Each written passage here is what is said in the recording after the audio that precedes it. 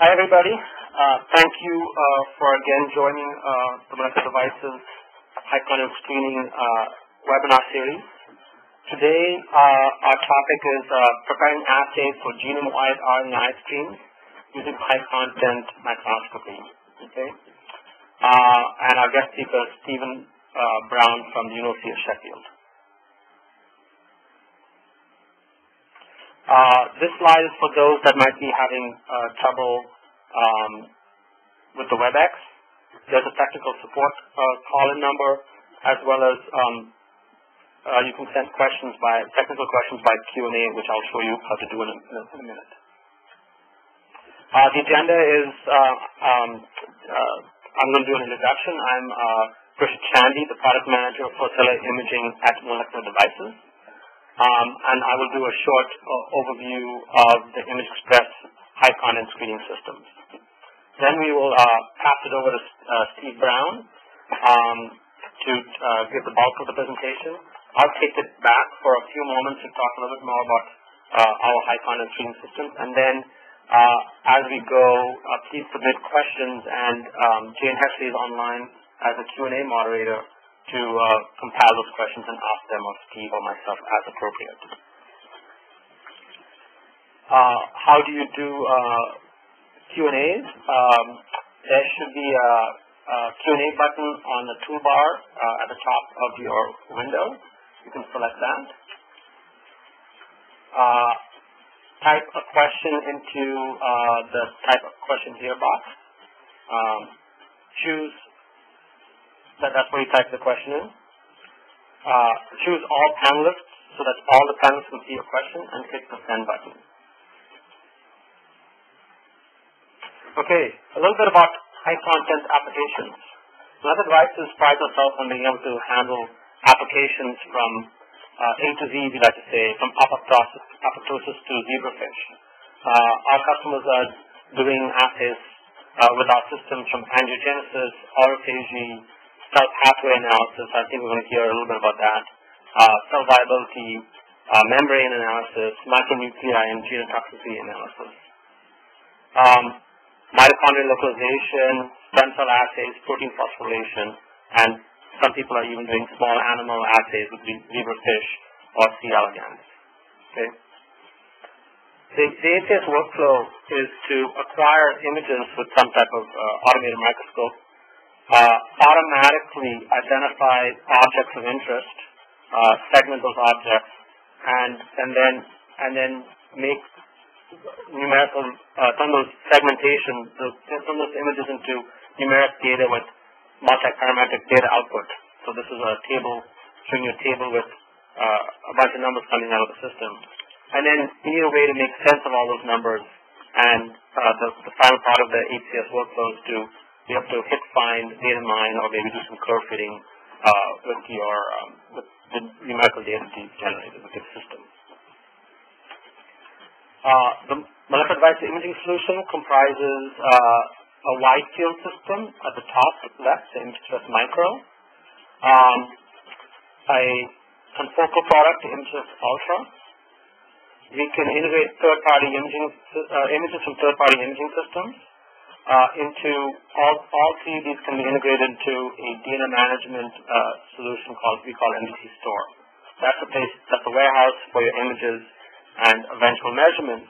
The measurements come from the analysis tools we provide with MetaXpress and MetaXpress PowerCore software, which I'll talk about uh, towards the end of the, uh, the presentation, and hit selection with the AcuityXpress software. So our, our tools are all integrated into one, one package from acquisition to the data management, image, image processing, and, and meta-analysis. You're going to hear a little bit about uh, some of these uh, aspects uh, of our product from uh, Steve Brown. Uh, Steve Brown actually started his uh, PhD working with with um, tomato plants, but he quickly moved over to doing some uh, work on embryonic tissue formation in the Drosophila and migrated from there to uh, doing single understanding signal transduction mechanisms in that model organism looking at the JAK-STAT pathway. Uh, Steve is now, um, since 2008, has been um, uh, managing the Sheffield RNAi Screening Facility, a national screening resource for the Drosophila, um, and has lately migrated from uh, solely doing software RNAi screens to human siRNA screens. Um, and uh, on that note, I would like to pass the presentation over to Steve. Um, Steve? Thank you, Grischa. I uh, hope you can hear me. Yes, I can hear you quite well.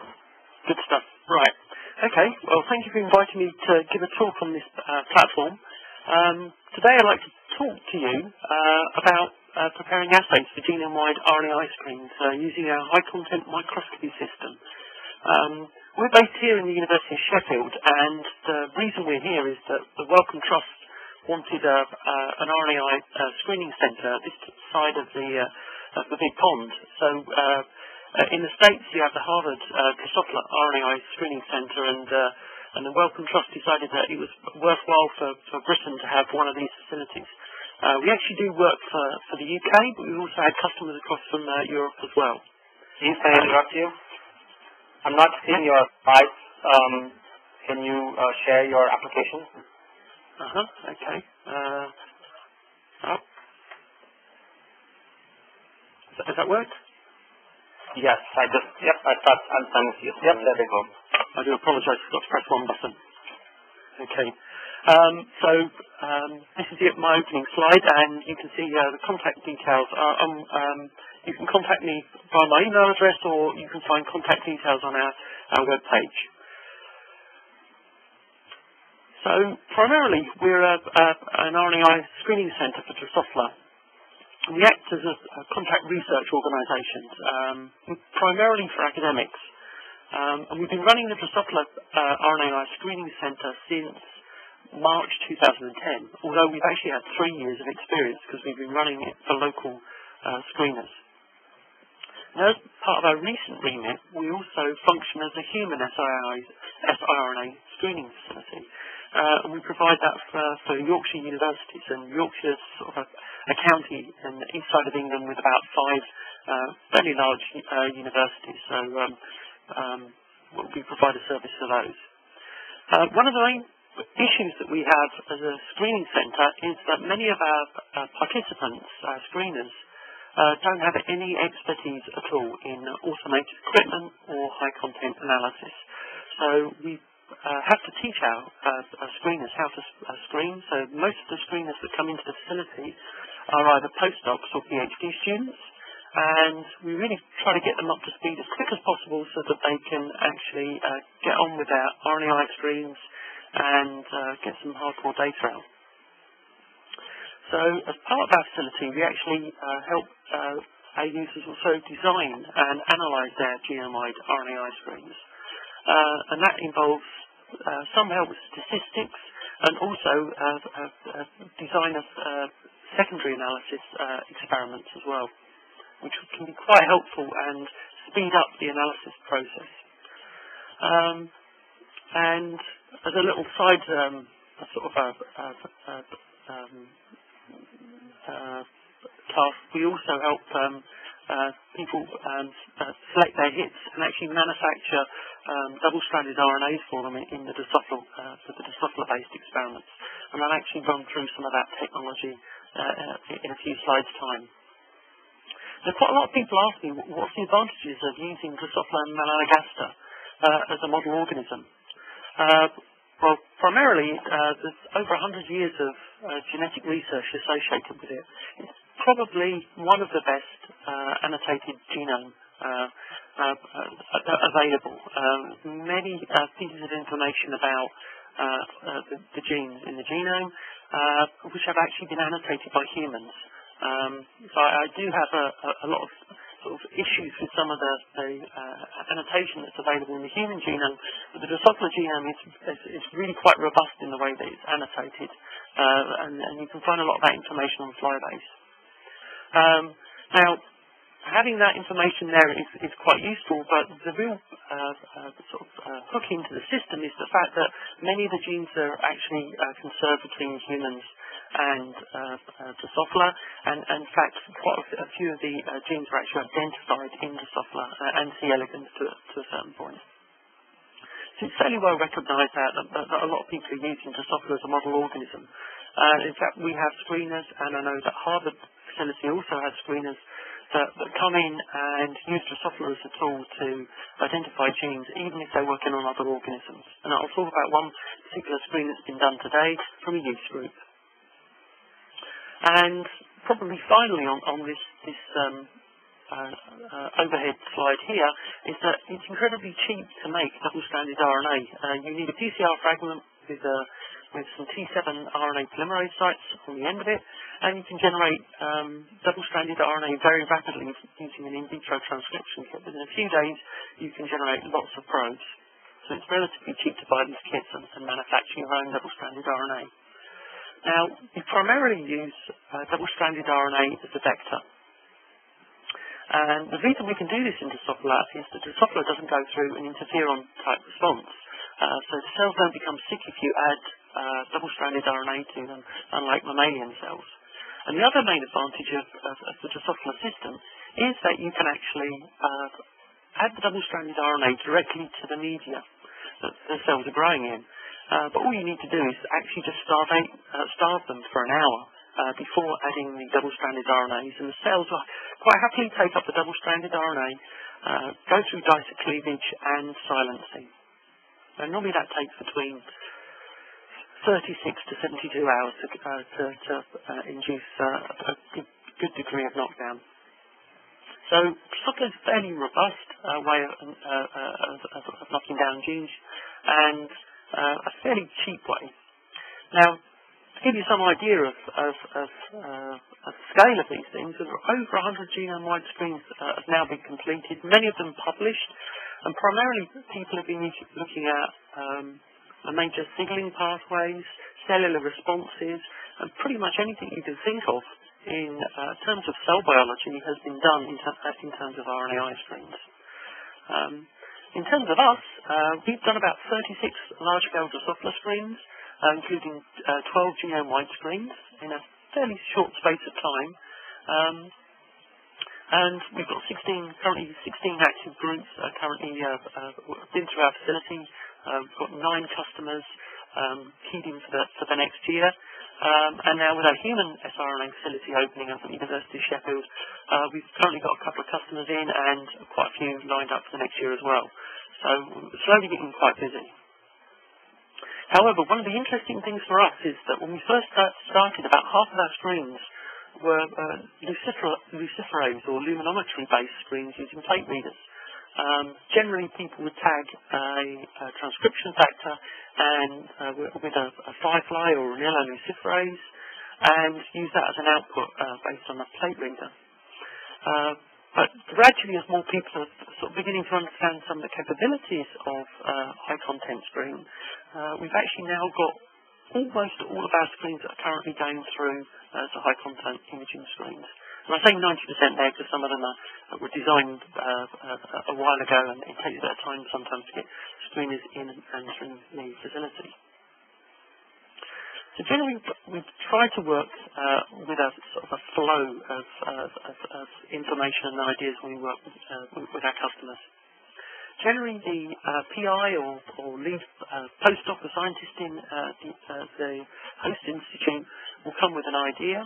Um, normally that idea can be in a, a, a, a 96 file format or even an, an Eppendorf format. So people uh, would then need to um, scale up that idea into a, a 384 uh, screening platform. And that can take some time. Uh, the development of that assay can take anything between uh, a few weeks uh, up to nine months. So it's no mean task actually to, to develop the assay correctly. Now, it's one of the uh, tools that we use for um, uh, developing the assay. We've made our own assay development plates. And the current uh, screening plate that we use for uh, the software is a, is a, a 384 well plate that has 90, uh, sorry, 60 kinases in triplicate. And on that plate also we have 95 uh, negative controls. So that when screeners start to use this plate, we can get an idea about what's the, the signal to noise uh, available for this particular assay. Most screeners uh, run uh, our test assay plates between three and ten times, uh, getting a feel for how well their assay is, tweaking their assay. If they're doing a high content imaging screen, of course, um, they'll uh, develop their algorithms uh, for actually uh, performing the segmentation on this plate. Um, once uh, they're happy with the results that they're starting to get out, um, then we normally have a discussion about fitting into the pipeline and getting them through the facility. And then once we're happy and they're happy with the, the, the, the timescales, uh, our screeners normally go and uh, screen a small scale library, a subset library. Now, the one that we normally offer to them in the uh, screening platform is the phosphatases and kinases as a package. And that package actually contains five screening plates uh, at 384 well format. Now, this gives the screeners some idea about uh, how long each plate's going to take if they're doing it in a high throughput and a high content context, so they can get an idea of timings and how well the assay is performing in a, in a high throughput environment using all of the equipment. And once they've uh, got the data from this, some screeners actually spend a bit of time analysing that data and, and creating uh, hits from, from that, those plates. Uh, and, uh, and, other users are actually more interested in screening the genome, uh, rapidly move into a screen for the genome. So at that point, we get a lot of uh, a, a, lot of data back very quickly, and then the data analysis um, takes place. And I'll tell you about some of the little tricks that we use using um, Alexa devices, um, MDC Store, and also some of the Power Core applications that we can use to speed up part analysis later on.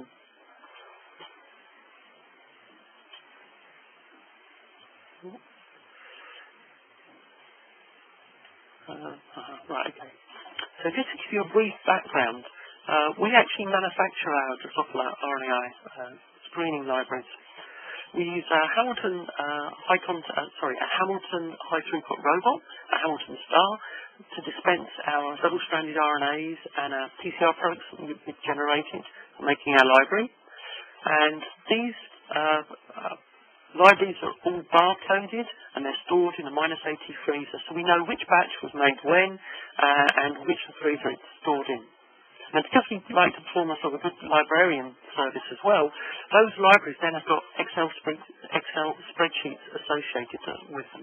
So our users could come in, look at an Excel spreadsheet, search for a barcode, and they know where the library is kept and the content of those libraries. In the middle image here, you can actually see two genome-wide libraries that have just been taken out of a uh, minus 80 freezer. Uh, they're actually in a um, luciferase screening plate, uh, and there's two replicates there. And in the third uh, uh, image in, in, the bottom here, uh, you can see our, our freezer banks holding our, RNAi libraries. Now, for the screening process, um, this can actually take between, um, well, to screen a, a single replica can actually take between a few days to a few weeks, totally depending on the assay that, that people are, are using. Uh, the left-hand side of this imagery here, you can see the, the, the plates in, in, in storage. Uh, we normally grow up cells in T75 flasks. Eight or nine T75 flasks uh, will produce enough cells that we can actually seed them onto our uh, double-stranded RNA that's, uh, that's already been pre-printed and, and removed from our freezer. At this stage, people transfect in uh, different plasmids for expression or uh, add different drugs or whatever the assay may be. Uh, three to eight days later, depending on the assay window, the process, uh, uh, the, the, the, next process is to actually uh, stain and wash the cells, and then the data is acquired uh, and currently our facility we have a plate reader and a ImageXpress micro, uh, high content microscope. So most people uh, that don't work in high content labs don't really see this sort of kit, but I, I thought I'd show you, it gives you some idea. So in the left uh, image here we have a multi-drop uh, uh, um, bulk liquid handling robot. And this particular one, we, we normally uh, dispense ourselves. So we put a flask of cells in here, and it dispenses cells, uh, 50 microliters of cells in every well, across the 384 well plate. And to, and to see the whole library probably take about an hour just to go through uh, a, a, a, a, library in terms of seeding it and and uh, sealing the plates and then and then and then popping them back into the incubator. The right hand here, uh, uh, uh right hand uh, uh, image we have on the top here is our cell washer, and that we normally use that for aspirating media before we go to fixing the cells. And this is another bulk liquid handling unit here that we normally add antibodies or, or wash steps later on in the process. So the architecture of our ImageXpress Micro is represented on this slide. You can see on the top left image we have our ImageXpress Micro and we also have a um, articulated robot connected to the ImageXpress Micro. And the ImageXpress Micro uh, will take between 20 minutes and, and 3 hours, uh, 15 minutes to acquire a plane. But that really does depend on how many images, uh, which wavelengths, uh, um, um, you know, which objectives as well you're using. So there's lots of different parameters that that, that, that, can change the acquisition time. Now, the ImageXpress Micro is connected to a hub, uh, and uh, in our hub we have a network attached storage harboring our images. We also have an MDC store um, database that harbors our um, metadata. Now, we like to think our data in, in two ways. Uh, that, that, that, that's, uh, that's, uh, that's held on our MDC store database. The primary um, metadata is our good librarian part. It tells us where the images are stored and all the details about the images.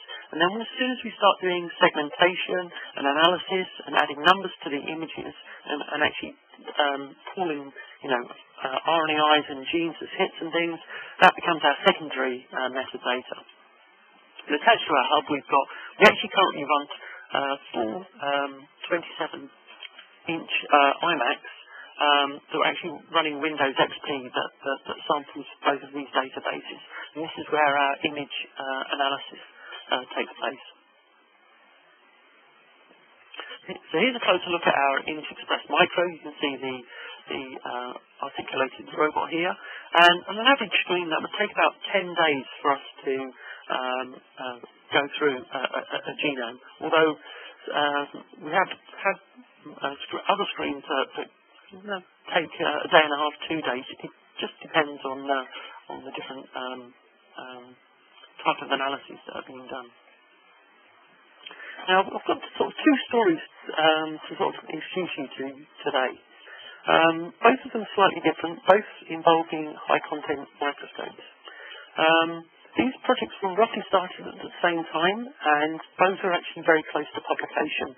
Um, so this first project uh, that I'm going to discuss uh, is, uh, has been performed by uh, Pete Drake, who you can see here on the right-hand image, who works for uh, Tetmer across in our um, one of our departments here at the University of Sheffield. And their group's a youth group looking at the, the formation and maintenance of peroxisomes.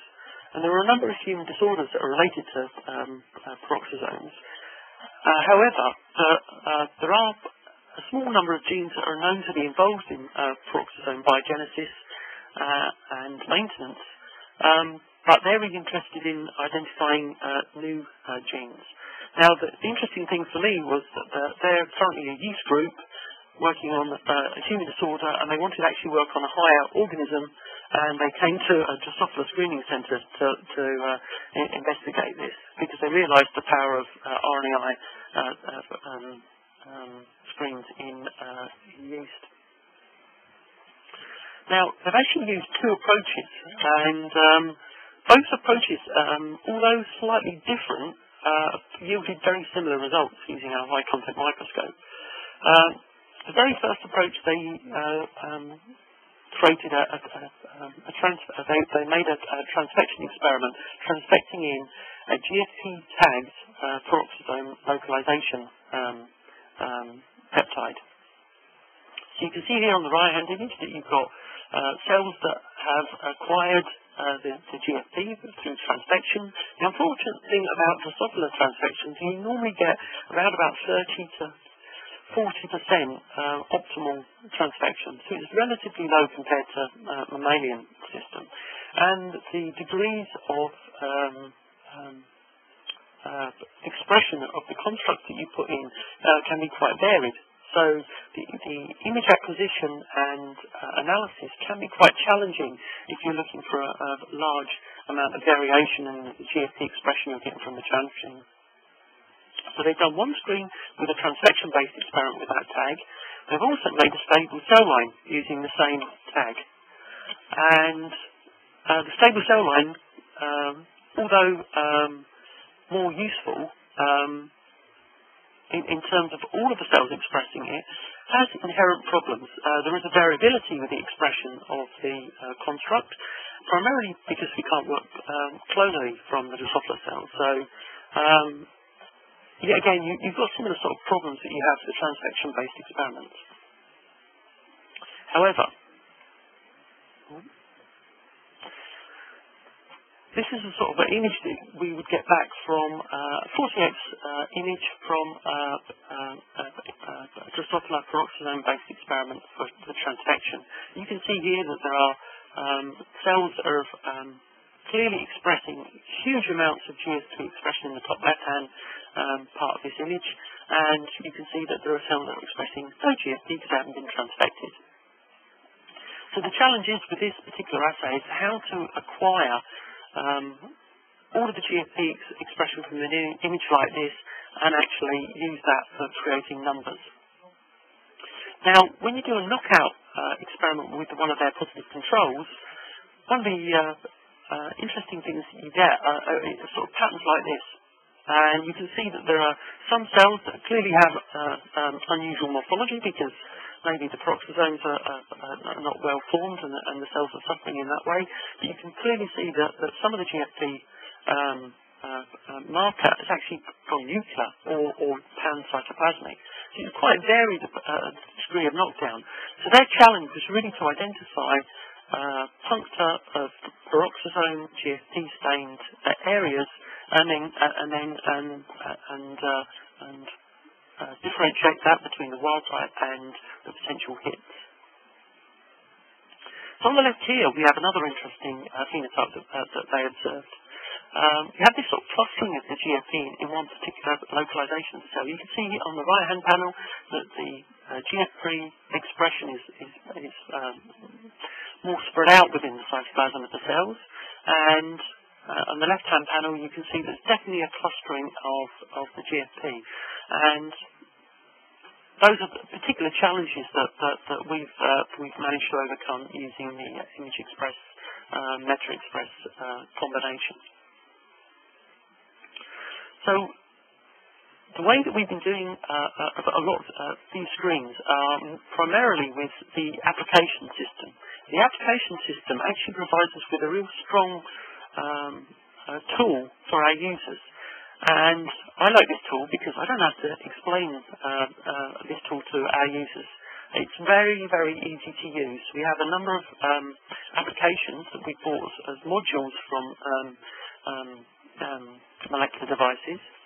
And for this particular one, we're looking at uh, uh, the Transfluor application. The Transfluor application, you can see here, it's selecting pits and vesicles and we can uh, uh, identify the pits and vesicles from the GFP images, and we can call the cells with the um, stain that we've used in blue here. So you can see we can set the approximate minimum width, the maximum width of our peroxisomes, and then we can select the intensity above the local background. So if we'd wanted to, we could have actually selected vesicles as well, which would actually give us another size uh, exclusion um, uh, option. So this particular um, uh, application was very, very useful in identifying um, uh, our GFP pits in our peroxisomes uh, using our stable cell line. However, um, sometimes uh, life isn't that simple, and when they were doing the transfection-based experiments, the, the, the, the, group really wanted to identify uh, the number of peroxisomes per cell.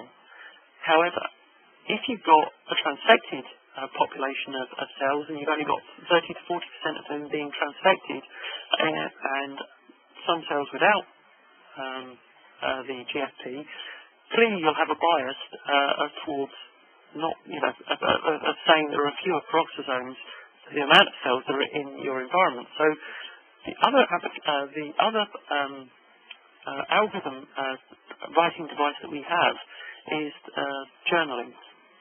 And journaling enables us to create some really sophisticated um, measuring and, and, segmentation devices. So um, However, the, main problem with our current journaling setup is that it's not as fast as our applications, and it takes a lot more uh, time and uh, experience to get one of these uh, um, uh, journals working. The, but the really interesting thing is that you can actually um, mix and match uh, journals and applications, and of which our use, some of our users have become quite sophisticated in the way that they identify objects and do their analysis through this. And of course, once they've imaged their screen and they've acquired their um, um, their, their, data using the applications, all of this is stored on our metadata, MetaXpress database. Uh, now, one of the essential things that we've actually found is that if a user writes an algorithm and they then discover a new phenotype that their algorithm couldn't uh, identify when they were first doing the screen, they can then go back and rewrite a new algorithm and then rescreen the data because it's already stored on the metadata uh, database. So you have some screeners that have actually done multiple analyses of their genome-wide screens asking different questions depending on new phenotypes they've identified from, from the genome-wide screens. Now, the sort of data that, that we can uh, uh, uh, sort of access once we start using applications uh, uh, varies depending on the application that we're using. So you can see here on the left, you can tick different boxes for the sort of type of uh, data that you want to be read uh, uh, out of this, and, and, then we can actually create Z-scores on, on uh, different different aspects that the users are, are actually interested in. So it gives us a lot of flexibility and a lot of power within within high content screening. So I was sort of like to put this uh, this slide up, although it's not particularly a, useful slide in terms of um, quality or or even in terms of content, it sort of helps sort of make our users realise that, that if you've got a, a sort of a general uh, DNA stain and you're looking at a large field of cells here on the top left, and you've done a very poor transfection, it doesn't matter if the transfection's actually worked uh, not very well, because you can actually see uh, in our green GFP on the top right, you can actually see the, uh, the, the, GFP positive cells. Then you can actually select those GFP positive cells, identify them as objects using our, our software, and then actually gather data and, and then actually uh, uh, generate some really good crisp data that we, we can then work with later on. So that sort of gives you an idea of, of some of the things that, that, that, are going on, at least with that screen. Um, right. So there are obviously uh, benefits and um, uh, and, uh, and, problems uh, using uh, transfection over stable cell lines. Um, even though we've, we've, we've, done an identical screen with two different uh, cell types, sorry, um, transfection versus stable cell type approach, the overlap with genes is about 85% from the two screens. Um, so the current screen that they've done, they've now secondary tested these in Drosophila. Um, they've got current work that's now um, trying to work, uh, move forward with these genes in a human system, but they've got 30 robust genes that they're quite happily working on now and, and um, writing up the publication. Now, the second part of, of, of the uh, screen that I'd like to talk to you today about is um, we have another group uh, run by uh, Dr. Alex Whitworth here at, uh, in Biomedical Sciences at the University of Sheffield. And his particular group looks at Parkin uh, and Parkinson-related uh, disorders. And one of the things that they've uh, really sort of interested in is actually the biology of some of the components of, of the Parkinson pathway. Now, they know that, that Parkin, uh, uh, equivalent gene Parkin2 in Drosophila has a very, very similar phenotype to uh, other um, um, Parkinson-related genes in Drosophila.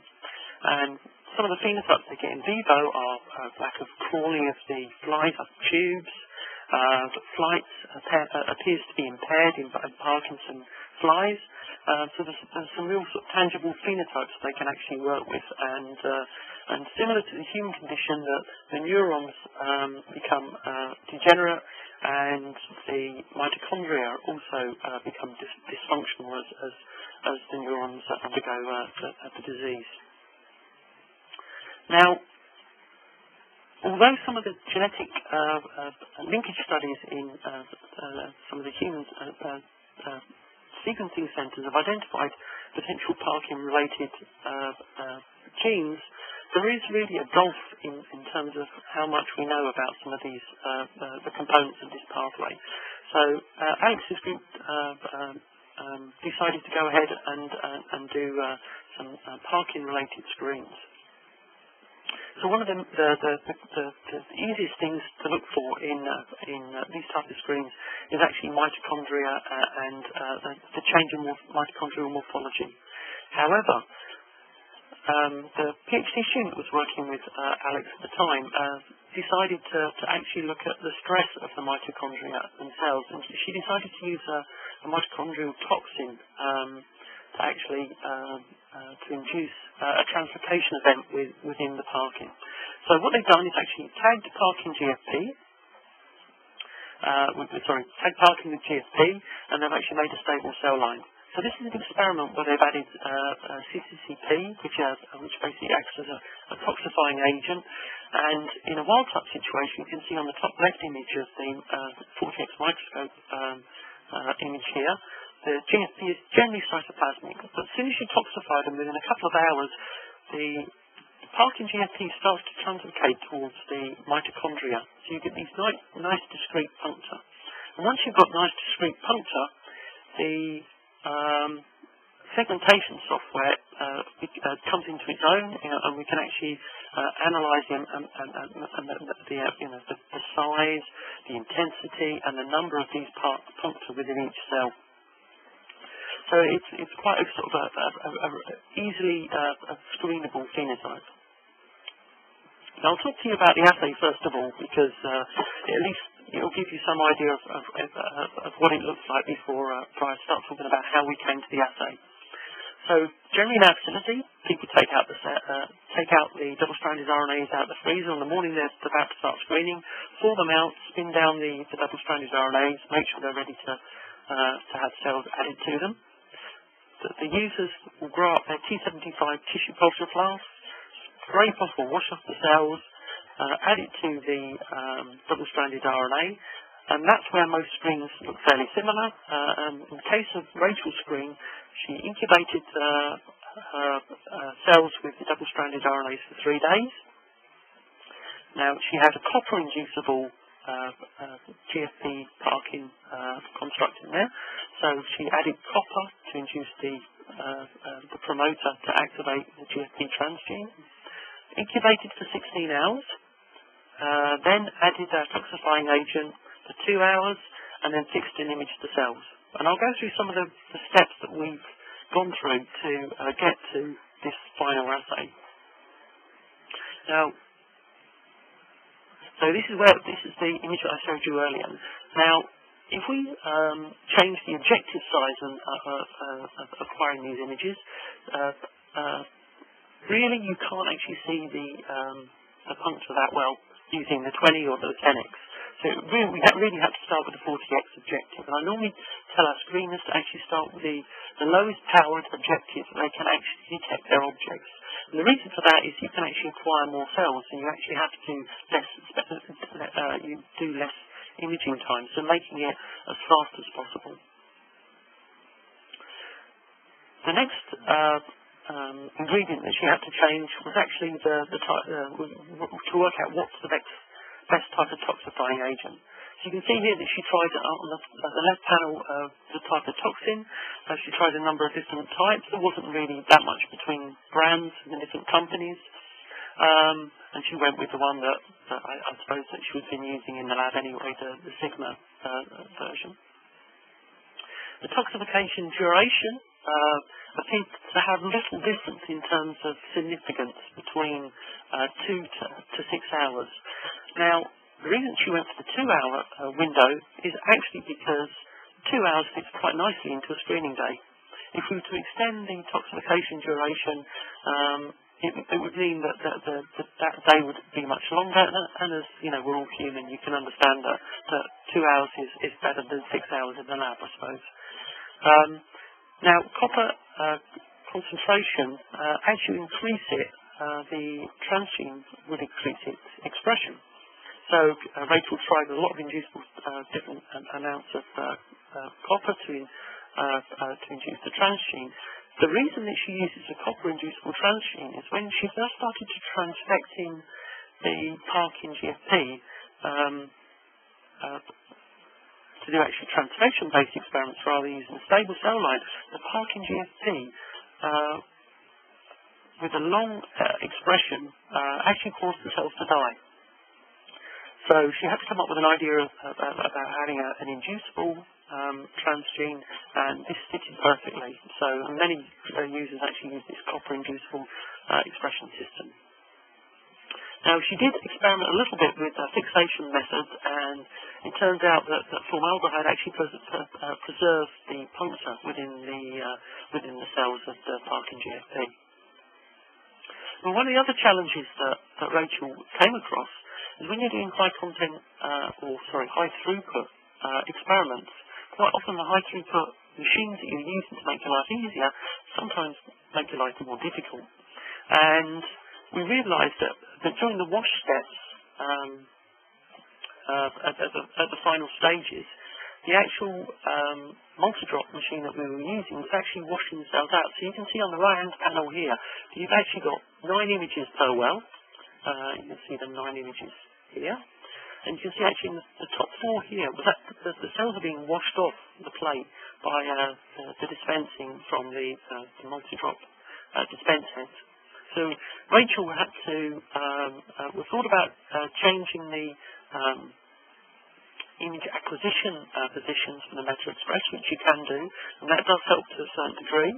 Um, so she moved the positions of the actual images around the world. But the, the, the main uh, the thing that she realised was that if you actually change the dispense speed of the multi-drop, because we've got a, um, a, machine that we can actually change the, uh, the speed of the dispense, uh, that seemed to uh, help her out uh, somewhat. Now, one of the main problems with um, with the multi-drop machines is that they actually don't dispense in the same place in every well.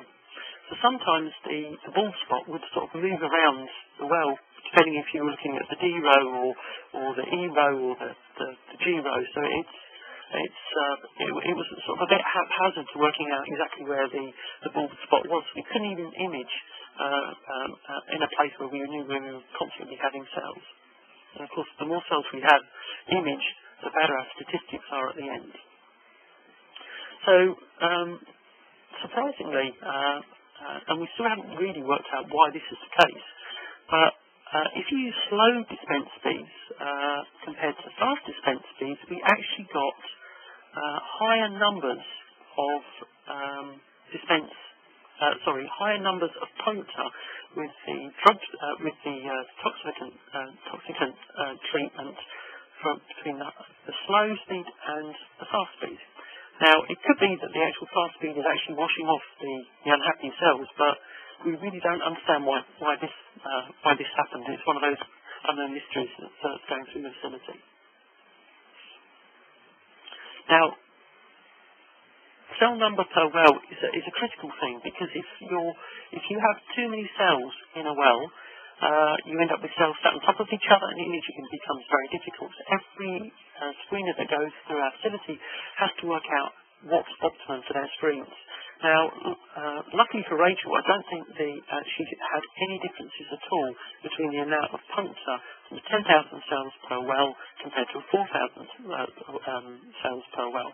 However, we've got um, cancer screeners going through or cell cycle screeners going through the facility, and cell number is critical to their assays. So this is a, a, a sort of a thing that we do with all of our assays to optimise the, the actual assay. And here's just a graphical representation of the actual number of puncture based on, uh, uh, on different uh, seeding densities of the cells. Now, uh, an interesting thing that Rachel uh, Rachel came up with a, a, a, really interesting idea that I'd, I'd actually not thought about, uh, and she actually measured how many grayscales above the background uh, were important for our assay. And uh, you can see here that if you change the number of grey levels above the background, obviously 20 grey levels above the background, you're actually picking up more puncture uh, than you would do from 100 grey levels, but the question is, which one is better for actually for, for imaging and for getting good stats out? Well, quite interestingly, um, um, there, does appear to be uh, a sort of a curve associated with the amount of grayscales that you have above uh, background, and also the size of the puncture that you, you decide on. And although you know, you get these nice curves and it looks as if something could be meaningful. Actually, there wasn't any statistical differences between the, the controls and, and the toxified uh, sample. So Rachel just went with the best gut feeling uh, after looking at all of this data and actually went for uh, 60 grayscales above background with a 0.6 to a 1 micron uh, puncture size. But I'm sure if we'd have run the assay again with some of these other different conditions, we might have got uh, slightly different results, um, uh, maybe on a few, very small number of genes. However, just to convince you that uh, that's not the case, um, I'll show you a slide in a few in, a few in the time that uh, uh, Rachel actually looked and, uh, and looked at that a bit more closely. Now here's our generic assay plate that we use in our, our, our screening centre. Um, generally, what we try to do is we try to uh, have our um, siRNAs in grey spread evenly across the plate. We have a no uh, siRNA or RNAi uh, control at the top left. We have, in this case, we've used a gene called DIAP1, which is actually a drosophila inhibitor of apoptosis, one gene, and that acts as our positive transfection control. So if you knock out that gene, the cells die. And, and this uh, plate also, we have our stereotypical um, uh, columns 9 and 17 that we use for negative and positive controls, which are quite uh, essential. Now, our assay development plates, we use these 6 kinases in triplicate and our 94 uh, negative controls, and it gives our, our users sort of a, robust uh, uh, idea of how well their, their screen is. Now, first of all, Rachel ran a, a, a phosphatome kinome and uh, screen, and she compared her 60 grey levels to 100 grey levels. And this is the, the columns on the left, on the right hand side of this, actually uh, tell you how well or the differences. So the only one, differences in the top 36 uh, are the ones highlighted in white here. And of course you can see that some wells are coming up because they're empty and you're thinking, well, why is an empty well with uh, uh, no double-stranded RNA coming up in this? Uh, well, the reason is that quite often pipetting errors from our uh, robots or HFX uh, having an impact on this. And this is something that we would then um, uh, go through an analysis process after we've done the segmentation, got hit lists, and we would go through and clean up these from, from uh, getting rid of all these sorts of errors. And that can be a quite useful sort of uh, uh, uh, thing to do. Now this is what the genome screen looked like. Now, interestingly, uh, batch number one, uh, highlighted in, uh, on the left-hand side of this, is in, in red. Uh, batch number two is in the middle section, and batch number three. So one's in the morning, two's over lunch, three is in the afternoon. You can see here we've got our 53 plates, the plate number on the bottom. So you can obviously see there's some sort of a, a, a change uh, from morning to, to over lunch and then into the afternoon. Well, we don't know why some of these plates, uh, these box whisker plots for each plate, so sorry, the box is the 50% of the of, of, the genes and the top and the bottom of the uh, the whisker parts. They're actually at a 95% confidence level. So some of these we have no idea why they're lower. It might be that the content of these uh, plates is different. Now Rachel thinks that she had a robot crash around about here, but actually we think probably the crash happened there. So we think that dispensing the toxicant, uh, toxicant happened that uh, on that particular plate. Um, she also noted, uh, uh, we get all of our screeners to do this, to actually note down what, um, uh, um, we make a screening log, uh, and that screening log is all the notes of everything that happened on the day, you know, if, you know, if, if the power went out or whatever, you know, everything gets noted. and that plate was dropped. Interestingly, the puncture number goes up when the plate's dropped. Um, the plate particularly on the end here, you can see that uh, half the plate had double the amount of copper, so that obviously increased the average number of puncture per cell um, uh, quite a bit. So the normal process is to go through is to uh, uh, present your data before normalization, then after normalization uh, we have a, a, a, plot here of all the z-scores, the screen, and you can see here uh, uh, the, uh, the frequency of, of, of the hits uh, before and after uh, statistical normalization.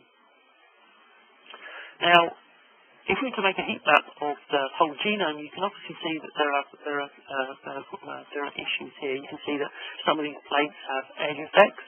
You can also see that the top left-hand corner in this particular genome-wide screen didn't have uh, uh, toxicant added, the CCCP. So obviously these had low amount of puncture. You can see some of these plates here, uh, and this is the one that we think had the Hamilton-style robotic accident. You can see there's a quadrant type effect on here. You can see some of the other plates down the bottom here also got uh, sort of lines across the rows. Well, we know those lines are generated through multi-drop errors. So there are things that you can go through and then sort of like manage the data accordingly based on these screens.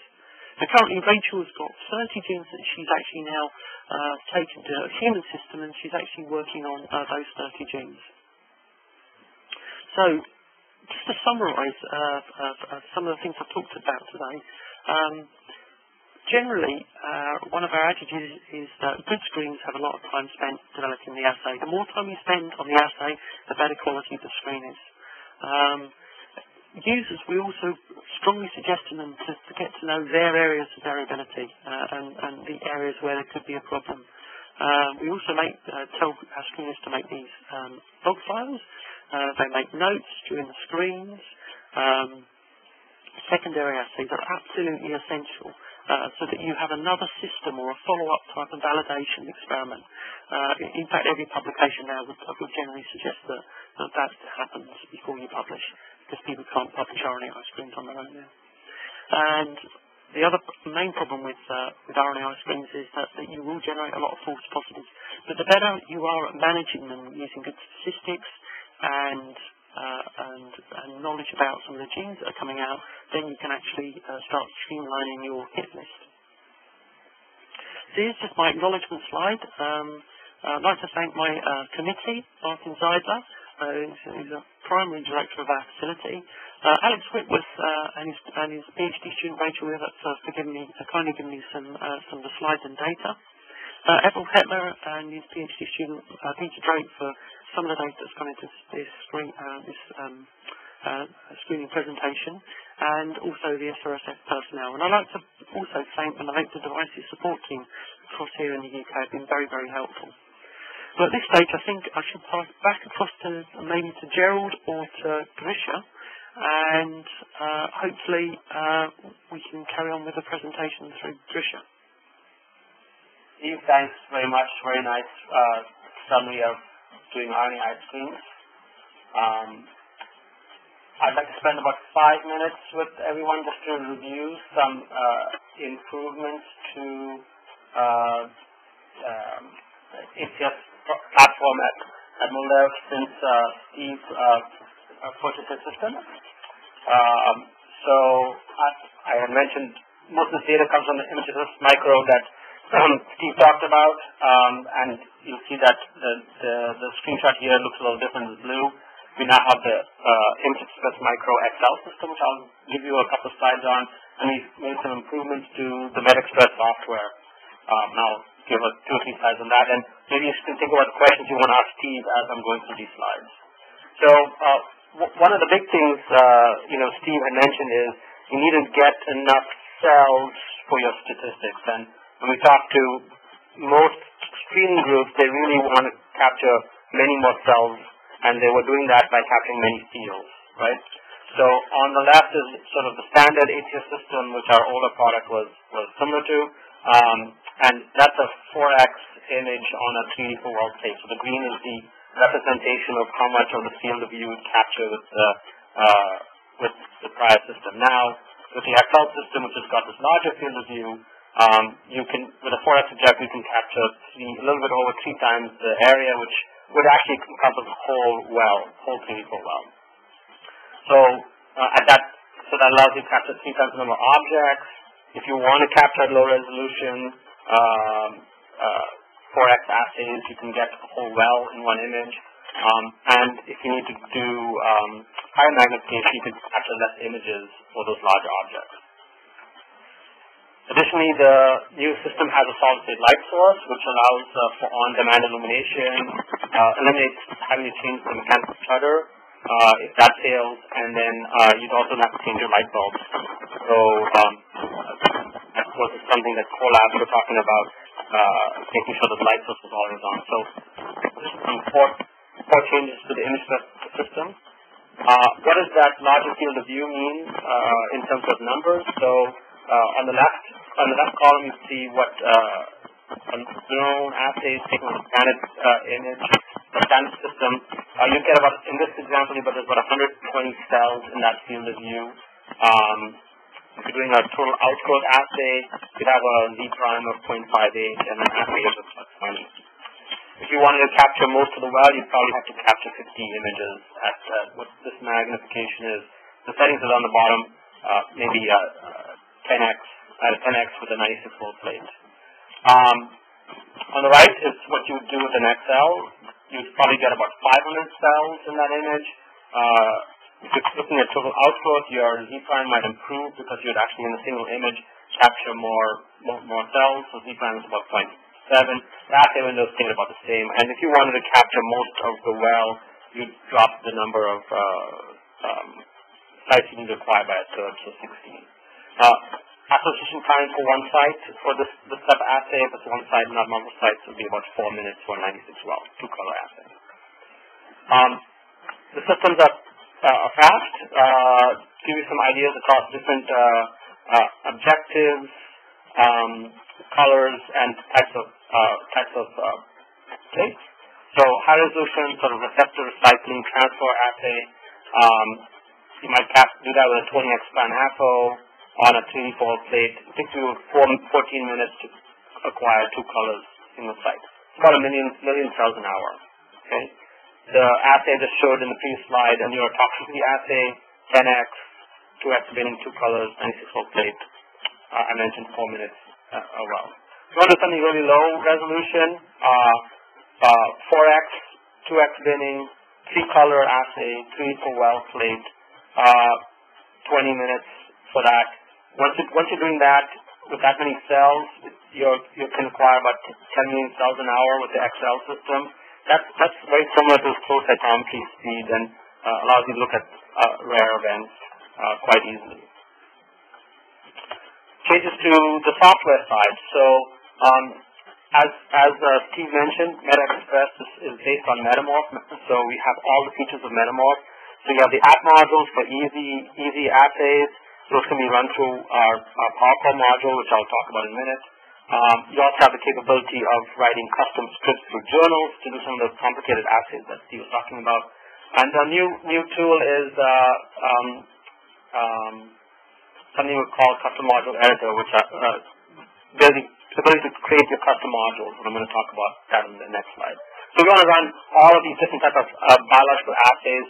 Um, uh, I think that you talked about scoring cells, viability cell cycle, function identification. What's new with custom module editors, you are able to find objects inside objects. For example, you wouldn't necessarily need a, script, a journal to do that as, as Steve did. You might create a, a custom module for that. And that's here we show finding uh, objects inside neurites. That's also, so why, why would you go to custom, why would you want to add the capability to custom modules? Um, you can now, with this tool, you can do some color and transmitted light segmentation and assays. Uh, you can, in, inside the module that you create, create uh, morphometric classifiers for shape uh, analysis, finding objects inside objects. Here I show a, a dot, a puncture inside a neurite. This could be inside a neurite, it could be inside transfected cells, it could be inside the nucleus. Um, you can simplify segmentation and measurements in order to cut down the number of segmentation steps um, that that a module might use. You can report less data um, uh, to drive uh, analysis to be faster. And once uh, once created, custom modules are like uh, our CAN modules. They can be shared, shared with colleagues, and uh, we have a shared site I'll, I'll put up um, I'll put up at the end. Uh, and additionally, they can be run in MetaExpress Power Core software, uh, which I'll get to in, after the next, the next slide. Uh, the custom module editor uh, has a different interface from those who are already using the, the older MetaExpress might be used to. Um, all the segmentation tools are available from the ribbon. Uh, they're grouped into four palettes for finding objects, creating segments based on application module objects, modifying objects, and modifying the image. Once you've created and put those steps into a, these cards, they're available to you on the left. Once you've saved them, you just need to go edit the, the fields inside the module, um, much like you would with a CAN module. And lastly, uh, as you develop the module, you, you see a strip on the bottom and each, each step of your module corresponds to an image in that step. By clicking on that step, you can go back to that, that step card and modify that step card. So you can see what you're doing to the images as you create your module. So what type of assays does this enable? So here's an example of something actually created in Meta, Metamorph, right? It was uh, created with some uh, images off of a research microscope. Um, and the person wanted to be able to do some membrane analysis. Okay, uh, so the the dark blue segment is the nuclei, the light blue is the full cell, and the yellow is looking at intensity in the membrane. Now, once this was created, this module uh, can be uh, saved and then uh, exported and then opened up into MetaXpress. So allows for cross-sharing of um, applications using Metamorph, MetaXpress, and then eventually into MetaXpress PowerCore.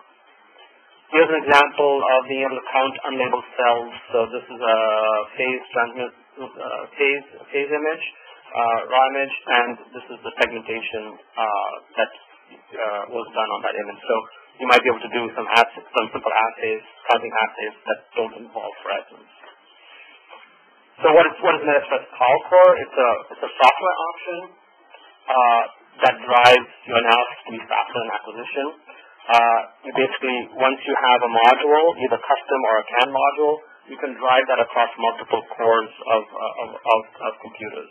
And on the right, you see the uh, time to generate a um, analysis from 3 4 tape, and that time is driven down to be faster than acquisition. So examples of applications to accelerated include the membrane analysis I showed, content analysis on compartments, so uh, looking for dots inside nuclei, membrane, UI, colocalization assays, uh, label-free proliferation assays, wound healing assays, colorimetric staining, most morphometry assays. And this is just some examples. Um, it's about the creativity of the of the end user. So the new MSSS Micro now is available with MetaXpress 5. We drove it to alleviate many of the challenges found in screening environments, uh, running more screens, both with the larger field of view, the uptime of the of the light source, and um, uh, the flexibility of that assay development to be run with um, PowerCore. Uh, lots of ability to expand the applications, uh, making sure you can perform hit selection faster uh, with integrated heat maps and um, making sure that things can be run, uh, the analysis can be run on acquisition. And we, we pride ourselves on making sure that we maintain high image quality with our systems, uh, and we made sure with the new products that we kept that, that uh, high image quality. So on that very fast end, I would uh, ask Jane to um, look at those questions and uh, ask, ask Steve or myself uh, what, what, what you have compiled. All right, uh, this is Jane, and I know we're running out of time here, so I have a few questions, but I'll skip to the ones I think were, were not covered for sure. Um, somebody asked, have you looked at how much the RNAi molecules in your library give off-target effects, Stephen? Uh, we have um, uh, so we have a library that is uh, an off-target uh, reduced library. So it's been bioinformatically uh, designed by Michael Boutros' lab in Germany to prevent off-target effects. They've gone through and in silico designed a library so that potentially it has uh, reduced off-target effects. However, it's very, very difficult to actually uh, confirm you know, a true off-target effect library because one, because it's very expensive to do the, the RT-PCRs and, and, and, and, or looking at the whole genome uh, changes for each probe that you use. So we have a library that we think is one of the best ones in the world by Michael Boutros, but uh, we, we have done a few experiments to try to identify if we do have any off-target effects. And one of we've just had a publication that we, we uh, uh, uh, uh that uh, um, that was published, and we had one gene that we did identify that was an off, an off-target effect. So it, it's quite a difficult thing to to nail down, really.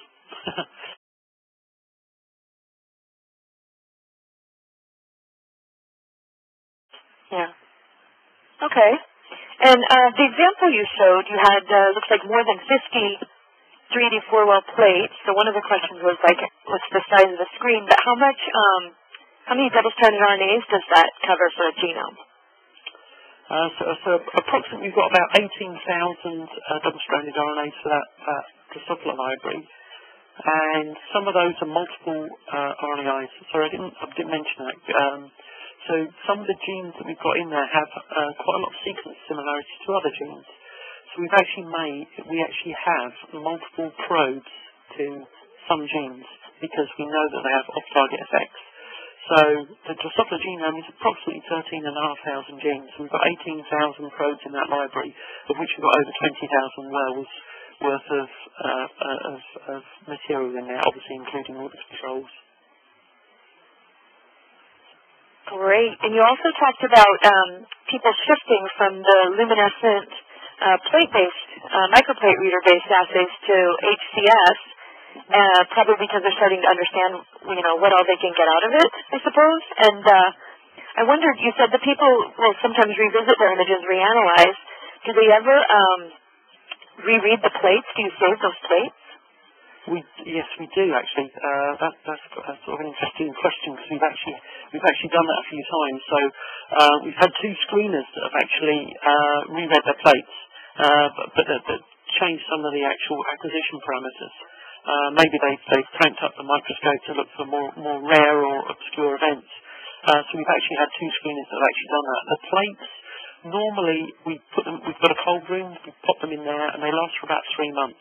So they're good for viewing within three months. Of course, the, the fluorescence will die over those three, you know, that three month period, and we'll have to crank up the uh, the uh, the acquisition time a little bit, but not too much normally. Uh, they're normally quite good for, for a good three months. All right. I guess yeah, because that would be convenient if they had identified some phenotype that they weren't exactly uh, targeting before, or something like that. Yeah, no, absolutely, yeah, yeah, and and it, it, it, screens are quite revealing because if you don't, you know, most people do uh, observe new phenotypes uh, that they would never have guessed that was in that that collection. Right. Well, I think that about covers our questions. I appreciate the, the talk a lot. It was very practical and really interesting. I'll hand it back to Grischa then. Yep. So just to wrap up, um, uh, if you would like to um, get in touch with Steve Brown, uh, his email is at the top, as well as the, the link to his um, RNAi uh, screening center. Uh, we'd love for you to stay in touch with both Steve and ourselves. Um, my email is there if you have any questions uh, that you would like to direct to me. Uh, we have um, we participate every year in the HCA, in HCA at, in San Francisco where we have our annual uh, HCA user meeting. Uh, we have a great list of speakers. I encourage you to look at our uh, uh, registration site, www.moleculardevices.com slash HCA 2013. We've uh, focused on, we've got uh, five or six um, end user speakers ranging from Pepsi to Regeneron to a couple of academic talks. Uh if you want to learn more about our products, uh please um, go to www.highthroughputimaging.com. And I had mentioned very briefly uh, a place to share journals and and uh, custom modules. Uh, that's uh, a software forum we've created, and that uh, that's metamorph.moleculardevices.com slash forum. And it's a place to talk to other end users uh, about generating custom analysis. So on that note, thank you very much for attending. Steve, thanks for participating. Um, and this uh, webinar will be available in uh, one to two weeks for uh, down, uh, download and viewing um,